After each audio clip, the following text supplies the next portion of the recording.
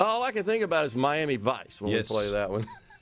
right that was awesome. Appreciate that. Joining us now in the studio, Representative Vince Mangold. He represents District 53. Thanks for coming in today, Representative Mangold. Good to be here. Thanks for having me. Yes, sir. So you guys have been busy down there at the Capitol with uh, all sorts of stuff. It it seems like it's been a rapid fire sort of session. Uh, honestly, I got to tell you this. We, so we've passed this medical marijuana bill. Yes, sir. That Who saw that coming? Really, and that sucked all the air out of the room. Seemed like the last year, and uh, I'll have to say, Rhino, I don't know if we've talked about it in three weeks or so. Very little since it passed. It's I mean, a done deal. It's a done deal. It's kind of fallen off the radar. Move on, and so. Uh, nonetheless, you guys are still busy with uh, numerous other uh, issues that um, you're working on now. So, what sort of deadlines did we have this past week that you can uh, think of? I don't know if we had anything this week. Um, I know we've got one coming next week that we've got to get all the Senate bills that came down to our end of the hall. We've got to get them out of committee, so the, all the committees are meeting. You know, seeing what's going to live, seeing what's going to die, and then we'll work through that process on the floor. But I think it's all got to be done. I think the speaker said maybe by the first or, Okay. or something. I'm, I'm not sure on the date, but you know that's approaching. We're in all the committee meetings right now. Okay, so before we got on the air, uh, just talking about some of the the major uh, incidents uh, that occurred this week, uh, legislatively speaking, of course, was uh, Representative Currie's Right. amendment to essentially uh, change our our third party uh, manager of Medicaid. Right? And and me and Becky are both in Lincoln County, so Yeah. um, you know we talk. And you know, I don't think she was put up for it um, to drop that amendment. I think it was on her because she's in the medical field. Uh, as a nurse, she sees what goes on, and so she had an insight.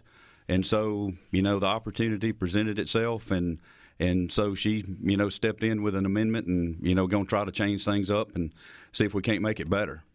Well, we, we've had her on the program as well. This is something about which she is uh, very passionate. Very passionate. uh, as you can tell as well. Uh, I could tell when she was here. I'm sure she uh, that comes across in the in Mm-hmm. It the does. chamber as well. But uh, I, get- I think the big thing is these guys. It wasn't just in Mississippi where No, we sir. had some issues, but Ohio I think was really big the issues. big one. Yes, sir. And and so it, I think it doesn't make sense to continue the contract with this company to you know, I, manage I, the state's I don't know Medicaid how program. all of that works. You know, what we'll have to do, you know, if, if we don't have them, uh, I'm sure somebody else will step up. But, Yeah. you know, I get a lot of the points that she made, you know, having somebody in state. Um, you know, is there somebody ready in state to take on that responsibility? I'm not sure. But um, I guess we'll just go through the process and see how it turns out. Yeah. Well, and uh, you know, we, we talk about it a lot on the program, but I, I think it's fair to say, uh, Representative Mangold, that the average Mississippian doesn't realize just how big an expenditure is Medicaid, even from the state's perspective. Oh, it is huge. Num- I number mean, two in yes. terms of line item behind education. behind education. When you when you look at that budget, there's a or if you put it in a pie, Yep. there's a huge piece of pie for education, almost as big for Medicaid, and then everything else just kind of you Yeah. know small slices yeah. around. Yeah, and that's just the state's portion. That doesn't take into consideration the federal portion. And when you add those two together, it's almost as big as the entire state general fund It budget. is. It's massive. Uh, our goal, of course, should be to wean people off Medicaid and get them in- and get them Exactly. uh, to a point where they don't need it. yes, I, I mean, I you know whatever we can do, and and I realize some people have to have it. Right. you know, because they just financially, um, you know, they're disabled or, or the right. elderly. But you got a lot of folks that, that are getting it that really could be working somewhere, and and you know, and I know insurance is expensive. I mean, it cost me a, a bundle for uh, you know my family, but it's something out there that they can handle. Yeah. Uh, and Mississippi, of course, uh, unfortunately ranks at the top of the states in terms of its federal match, which is based on uh, our our economic situation and our, our household and per capita income in general. Some seven hundred thousand Mississippians. Yes, sir. On and that's without expansion. That's just Right, children that's- and into the now. various coverage groups. Yeah. So anyhow, All right. Um, what do you think's going to happen with respect to what I, I have sort of described as the issue that is rising to the level of medical marijuana, and that's tax reform Yes. uh, in the state. We've got um, uh, a measure, of course, in the House which has passed. I don't know that a bill has been officially filed in the Senate yet. I think we just have a proposal at this point. to my framework. knowledge, they're I mean they've got a framework and and a so-called bill. Yeah. I don't think they've discussed it. Yeah. I mean, I don't think it has hit the floor. I don't think it's hit the committee. Uh, I think they're just you know talking about it. But you know, we've rolled a product out, uh, changed it from last year to make it better. Yeah. Because you know, last year they had the you know the farmers were paying more, the Yeah. loggers, uh, manufacturers, and you know it was going to affect me as a farmer.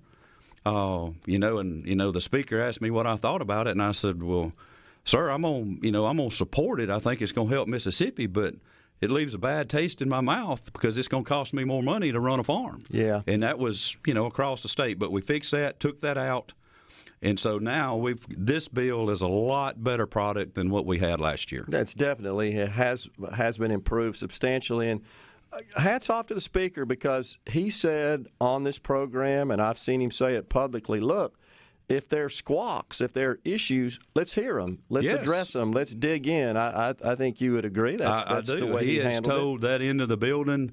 Um, if there's something in there that gives you heartburn, let's talk about it. Yeah. You know, we we don't have to do it, but let's do something. Yeah.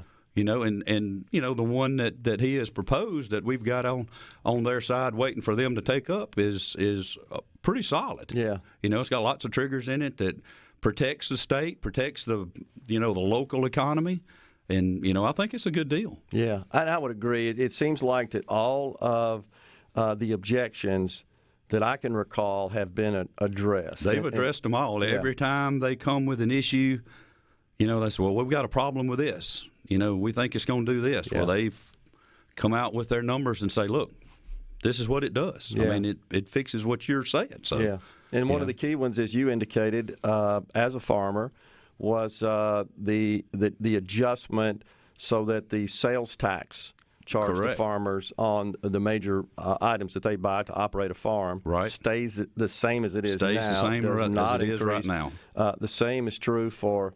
Uh, retail sales of automobiles, Mm-hmm. That didn't- vehicles, that didn't didn't change as well. That stays the same. In the prior version, that would have gone up. It- it would have. and that that drew lots of uh, concern. Yes, and and I, I mean I got the concerns. I mean I heard from folks. I'm I'm on the board there at the Farm Bureau in Lincoln County. Okay. I had two or three call me. They said, "Man, what are y'all doing? We Yeah. can't afford to do this." Yeah. I was like, well, I mean, you know, we're just trying to work through the process, and so, you know, I was very quick to call them when we got it taken out. I said, hey, we're good, you yeah. know. Yeah. And that's the way the process should It work. should work. This is the way it should work. You, Yep. you put something out there and you say, look, we're not married to this. Tell us what you think. Exactly right. Folks told us what they think. They came back and said, well, here's an updated, improved version, if you will. Updated, improved version number two. Let's go with it. Well, uh, I, and I, I want to say uh, that the deadline for the bill having been transmitted to the Senate for them to to take it up at least in committee may be coming at the end of next week. I think so. It's it's coming up. You I know, so end of the month. they've got to they've got to make a move on it and you know but i mean the speaker continually tells them let me know what your issue is and let's talk about it Yeah. you know i mean he said you know like you said they're not married to it i mean Right. they can take something out adjust something you know but all in all we want to send a good product to them and we want the, the state of mississippi to benefit from it Yeah. and and i think the one we're rolling out helps a lot of people and it, it keeps money in their pocket. And, and I mean, if you're like me or, or, or everybody else in Mississippi, you get money in your pocket. It's not going to stay there long. Yeah, yeah. You know? I, I think uh, honestly, what is maybe being omitted from the conversation is that in in reducing income taxes, that means that taxpayers have more disposable income, Correct. more to spend. Their their paycheck rises, if you will, in terms of net pay. Most of that money is going to be spent at the store on goods and services subject honestly to a higher rate of tax. So Yes, sir. but in exchange for that you get the value of what you're buying and you have discretion over what you spend your You're money exactly right. And right now, with the way that things are going, everybody needs a little extra No money in their pocket just to survive. No question about it. Can you hang around? Yes, sir. We got Representative Vince Mangold in the studio. Stay. Yes, indeed. I agree. That would be Rush. Neil Peart back there on the drums, huh? Best ever, according to many. yes, sir. I've heard you say that. I, I, I agree. Well, uh, back with uh, Representative Vince Mangold. So we're just talking about all the stuff going on uh, down there at the Capitol, and in particular, our eyes are on this uh, this tax reform Yes, uh, bill, and uh, we were just discussing that. So. Uh, a little correction I need to make. Uh, misspoke about the deadline for bills being on the floor. Uh, bills that must be on the floor in the chamber in which they originate by February 23rd. So just a few days off from now. Correct. Um, that's uh, would be what next Wednesday. Yes, sir. I believe. So bills that are transmitted and received from the other chamber must be on the floor. No, no committee deadline, but on the floor by March 15th. So the Yes, sir. Senate has until March 15th to take up this bill, this Sen- uh, excuse me, this uh, House bill to reform taxes, the Tax Freedom Act, I Yes, believe is, is it is named and labeled. So, and then we'll see if the Senate uh, uh, comes up. I mean, they something. they supposedly have one, Yeah. but you know, not a bill that I'm aware of. no. yet, I. I mean, I've heard talk, you know, and and you know what senators I've talked to, you know, said that you know they hadn't seen it in committee, hadn't seen it, you know, hadn't heard a lot about it. Yeah, and we should also add that once it's it's there, you get two days to deal with emotions. Yes, sir. On that, so I know you're familiar with that uh, process as well. So, uh, anyhow, we're going to have our eye on that. Should Yes, sir. should be very interesting. We got to feel pretty good, uh, though, Representative Mangold, about uh, collections and revenues, which Yes, sir. the governor certainly uh, taken to uh, the waves, uh, the media, to to tout that. It- yes, sir. it has it has we have done well as a state. Yeah. You know, through the pandemic and everything else, we have survived and and survived well. yeah, I think we're going to do even better. Oh, I think so. Uh, I'm sure you got wind of the big announcement from Nissan Yes, yesterday. sir. Heard that. And uh, that was exciting. Um, and honestly, I think that may lead to more and further economic expansion with adjunct industries. And and you know, we get this tax bill done. That just makes it uh, you know a nicer uh, look for the state Agreed. for more businesses to to come in. I, I agree, and, and it, it's beyond. Uh, of course, it's important uh, to get more money into people's pockets. No Yes, question about that. That is top priority. But we, we have to be cognizant of our need to grow and expand our economy, and we need all the tools that we can muster Yes, to do so. And I think this is important, an important Very one in important. the, in the toolbox.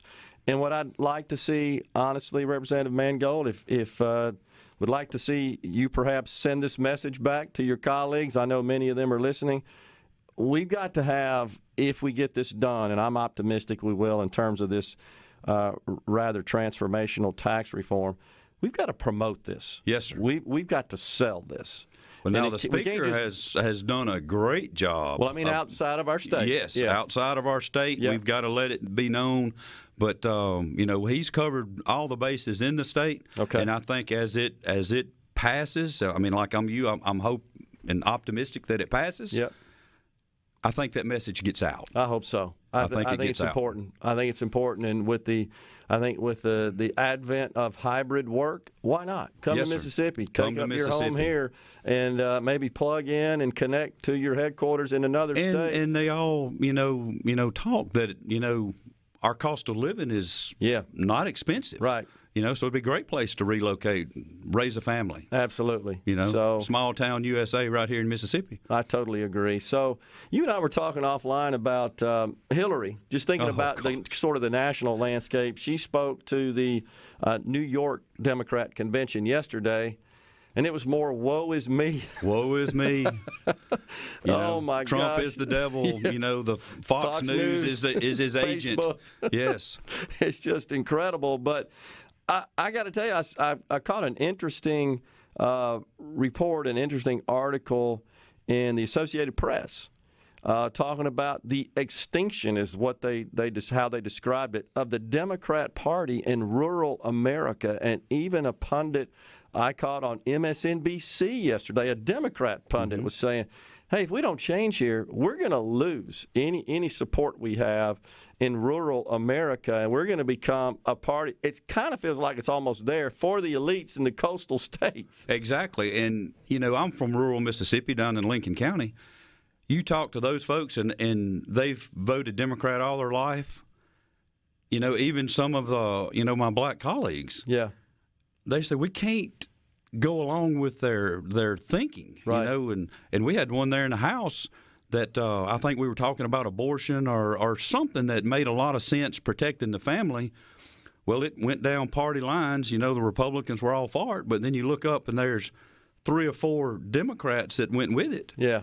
And you know, we were talking to uh, talking to him later, and he was like, "I just can't support that." He said it's not right, and he caught flack. Yeah. You know, because he voted right. He voted Yeah. with his heart. Yeah. You know, and tried to represent his, his people as, as best he can, and, and caught flack for you know voting that was obviously a a a moral issue in the right way. Yeah. I mean, and, you know, and, and that's they get attacked if they vote with sense. Yeah.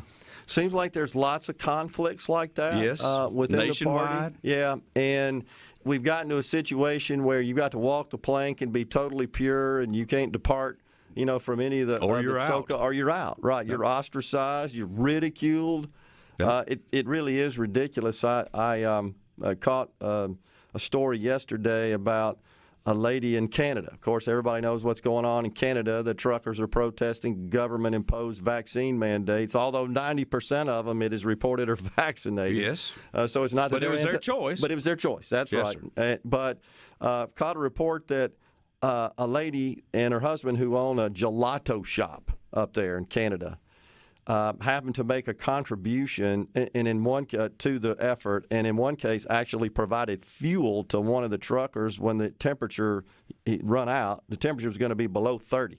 Good Uh, gracious. uh, 30 below, excuse me, that night, which is not unusual this time of year in Canada, and was worried and provided fuel to the trucker.